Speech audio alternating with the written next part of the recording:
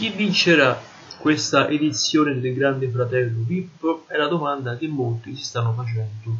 Perché? Perché non manca effettivamente parlando tanto tempo alla fine di questo programma televisivo che sta piacendo a quasi tutti. Va bene? E così ecco che a tirare la somma, o meglio le somme, è stato il buon Luca Saratino, il quale avrebbe disvelato secondo lui che andrà a vincere l'edizione in questione del Grande Fratello VIP. In particolare Luca Saratino avrebbe detto che secondo lui a vincere questa edizione del Grande Fratello VIP sarà il buon Edoardo Tavassi, il fratello, l'amato fratellino di Gwendalina Tavassi, famosa donna della TV italiana. Una persona diretta, secondo Saratino, che ci sa fare, uno che sa ridere, che sa scherzare, ma al tempo stesso che sa essere, sa essere anche abbastanza riflessivo in, talvolta, in talune circostanze.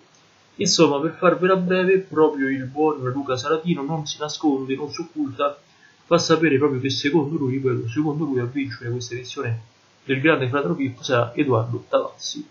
Va bene?